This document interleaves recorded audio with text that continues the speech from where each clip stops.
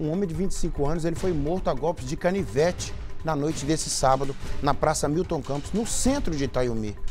Olha só, bem ali no centro, Itaiumi. De acordo com a polícia, o crime aconteceu durante uma briga generalizada na festa Arraiá do Bode. É, a gente vê ali o pessoal do SAMU tentando recuperar a vítima, mas é, parece que o resultado não foi muito bom, né, Ivan? Infelizmente. Rapaz, Itaiumi, um lugar tão pacato, hein?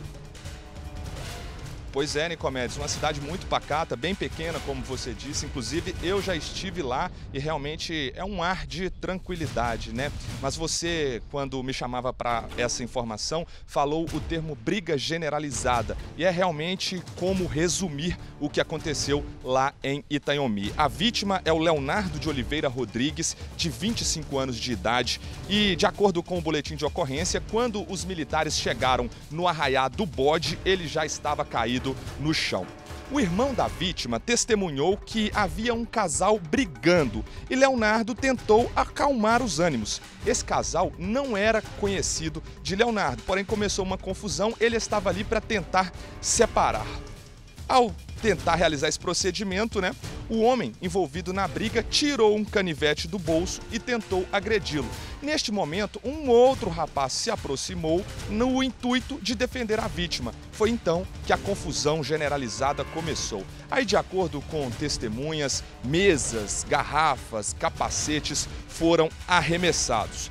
Outras pessoas que estavam na festa conseguiram controlar esta confusão, mas não viram, não conseguiram precisar o momento em que Leonardo foi esfaqueado. O SAMU chegou, tentou socorrer a vítima para o hospital da cidade, mas não teve jeito, viu, Nicomedes? Infelizmente, esta briga tirou a vida de Leonardo de Oliveira Rodrigues, de 25 anos, na cidade de Itanhomi marca uma família, né, Ivan, pela perda, marca os amigos que estavam ali próximos, quem visualizou, né, quem presenciou toda essa confusão, marca a própria festa, por que não?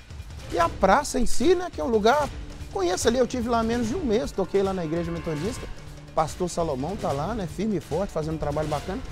As pessoas, a praça é um local lindo, a pessoa come um cachorro quente, um churrasquinho, usado para bater papo, né? Numa região tão tranquila em que normalmente as pessoas é, trabalham muitas aqui em Governador Valadares, fim de semana vai passar lá com os pais, com a mamãe, né? É, e tem guerra. É, como é que pode, né, gente? É, vai separar uma briga de casal, termina dessa forma. Eu, sinceramente, é. Ah, eu fico sem palavras aqui, Ivan. Obrigado, meu irmão. O balanço geral de segunda-feira, ele é dose, vou te contar, viu? Nem cavalo aguenta. Você tá doido.